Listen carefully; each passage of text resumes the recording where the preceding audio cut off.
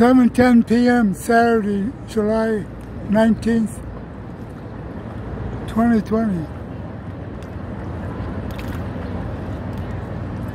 80 minutes to get to Tribune Tower, Michigan Avenue.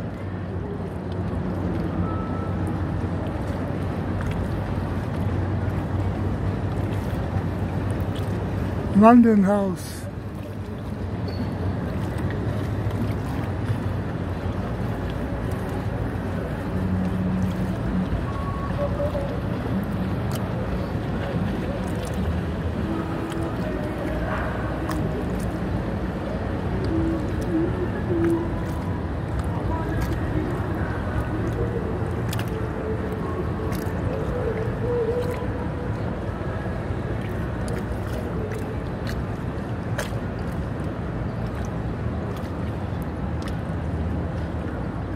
Alexa told me it wasn't going to rain today in Chicago, but I got rained on at 6.30 p.m.